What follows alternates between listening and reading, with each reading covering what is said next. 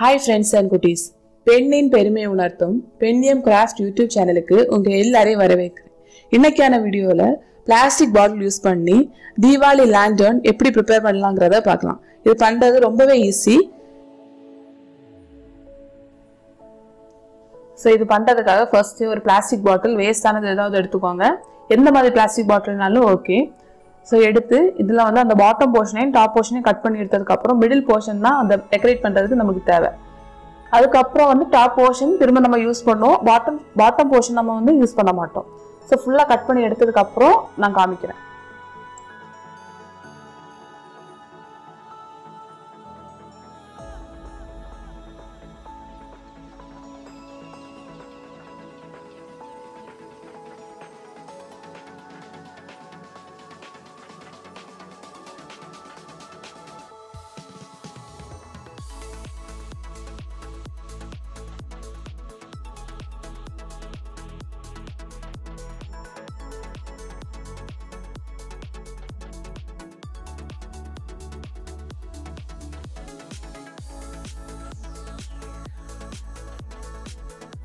So இப்போ நான் ஃபுல்லாகவே கட் பண்ணி எடுத்தாச்சு. அதுக்கப்புறம் என்ன பண்ணியிருக்கேன்னா இதே அளவில் அந்த பா அந்த பாட்டிலோட சைஸ்லேயே நான் ரெண்டு கார்ட்போர்டை வந்து கட் பண்ணி எடுத்திருக்கேன். அது வந்து க்ளோஸ் பண்ணுறதுக்காக ஸோ அந்த கார்ட்போர்டுக்கு மேலே நீங்கள் கலரும் பண்ணலாம். இந்த மாதிரி ஏதாவது பேப்பர்ஸும் ஓட்டலாம். நான் இப்போ பேப்பர் ஒட்டியிருக்கேன். ஸோ ஒட்டி அதே அளவில் கட் பண்ணிக்குவோம்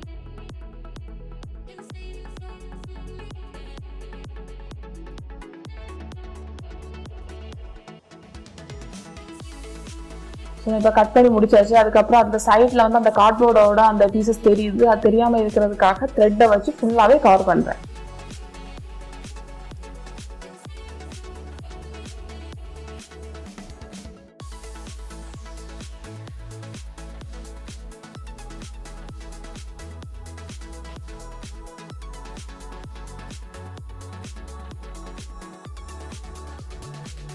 ஸோ இது ஃபுல்லாக பண்ணி முடிச்சதுக்கப்புறம் என்ன பண்ணுறோம்னா நம்ம வந்து அந்த பிளாஸ்டிக் பாட்டில் டிசைன் பண்ணணும். அதுக்காக என்ன பண்ணுறேன்னா உங்களோட க்ரியேட்டிவிட்டியை பொறுத்து நீங்கள் எப்படி வேணால் டிசைன் பண்ணலாம். நான் எப்படி பண்ணியிருக்கேன்னா அந்த பாட்டம் அந்த போர்ஷனோட அந்த அந்த ஒரு லேயர் மாதிரி எடுத்து அதை வந்து ரவுண்ட் போடுறதுக்கு யூஸ் பண்ணியிருக்கேன்.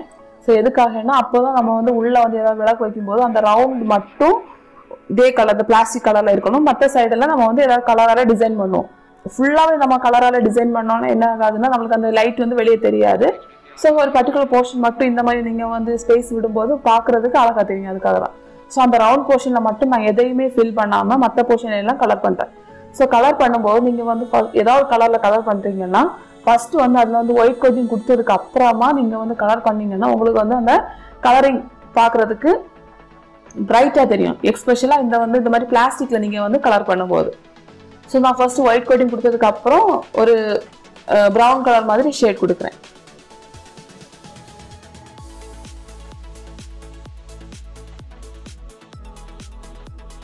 ஸோ இது வந்து ப்ரௌன் கலரில் ஒரு மாதிரி ஒரு டார்க் ரெட் மாதிரி ஒரு கலர் ஃபுல்லாகவே கொடுத்து முடிக்கிறேன்.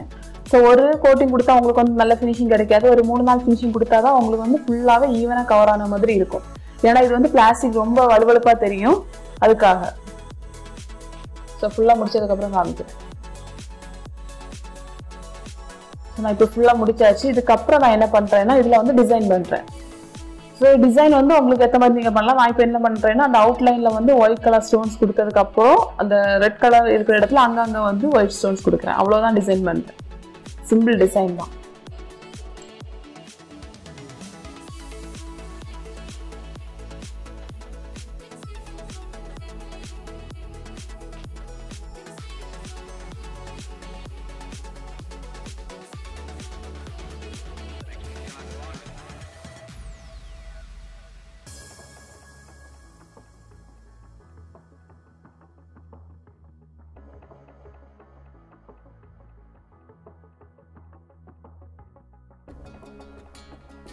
ஸோ இது ஃபுல்லாகவே டிசைன் பண்ணி முடிச்சதுக்கப்புறம் நான் என்ன பண்ணுறேன்னா இந்த மாதிரி ஆல்ரெடி நான் பண்ணி வச்சுருந்தேன் அந்த கார்ட்போர்ட் ஷீட்டில் ஒன்று எடுத்து ஒன்றை வந்து பாட்டம் பார்ட்டுக்கும் இன்னொன்று வந்து அப்பர் போர்ஷனுக்கும் வைப்பேன்.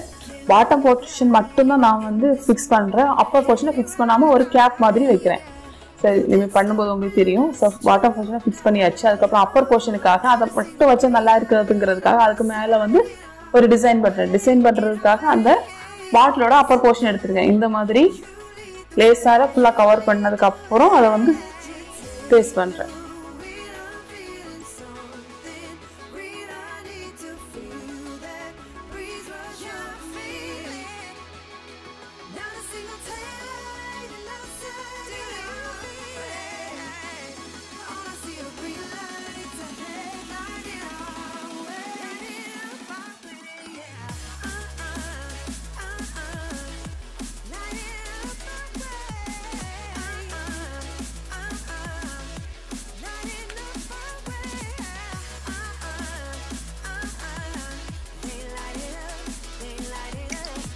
ஸோ நான் இப்போ ஃபுல்லாக அந்த லேஸாக கவர் பண்ணியாச்சு. கவர் பண்ணதுக்கப்புறம் என்ன பண்ணுறேன்னா இன்னொரு கார்ட்போர்ட் அந்த அந்த அட்டையை எடுத்து அதில் வந்து ஃபிக்ஸ் பண்ணுறேன் ஸோ இப்போ பார்க்குறதுக்கு ஒரு லிட்டு மாதிரி தெரியும். அந்த அட்டை மட்டும் இருந்தால் பார்க்க நல்லா இருந்திருக்காது. இது வந்து இப்படி பண்ணுறதுனால கொஞ்சம் கூட அழகாக தெரியும் அதுக்காக தான் ஸோ இதுக்கு மேலே அதுக்கப்புறம் என்ன பண்ண வேண்டியதுன்னா நம்ம வந்து கேண்டில் வைக்க வேண்டியதான் இப்போ வந்து பிளாஸ்டிக் இந்த மாதிரி வந்து கேண்டில் எல்லா கடையிலையுமே கிடைக்குது. ஒரு டுவெண்ட்டி ருபீஸ் தான் ஆகும்.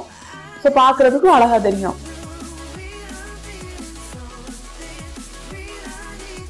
இந்த வீடியோ உங்களுக்கு கண்டிப்பாக பிடிச்சிருக்கும்னு நினைக்கிறேன். பிடிச்சிருந்தா நம்ம சேனலை லைக் பண்ணுங்கள் ஷேர் பண்ணுங்கள் சப்ஸ்கிரைப் பண்ணுங்கள் இந்த மாதிரி இன்ட்ரெஸ்டிங்கான இன்னொரு வீடியோவில் சந்திக்கலாம். அது வரைக்கும் பாய்